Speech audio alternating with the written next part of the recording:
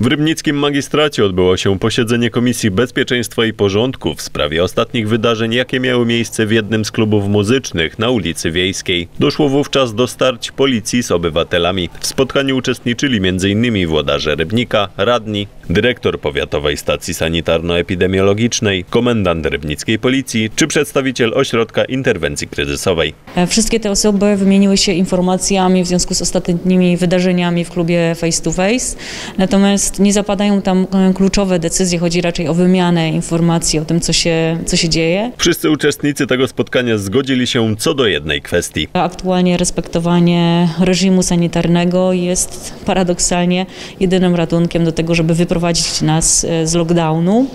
Nikt na tej komisji nie oceniał ani zasadności wprowadzanych przepisów, e, z tytułu których cierpi branża gastronomiczna i cierpią przedsiębiorcy, bo nie od tego jest ta komisja, nie od tego są te osoby, które, mm, które się spotkały, ani też nikt, bo o to Państwo często pytacie, nie oceniał zasadności działań policji w tym względzie. Nie jesteśmy do tego uprawnieni. Chodzi o wymianę zdań, informacji co do wydarzeń związanych z interwencją służb na terenie klubu z perspektywy różnych stron. No, sytuacja jest na pewno bardzo trudna. Branża gastronomiczna jest zdesperowana i zaczęła częściowo wyrażać e, swoją desperację w taki sposób. To rodzi dodatkowe trudności, dodatkowe mm, niebezpieczeństwo.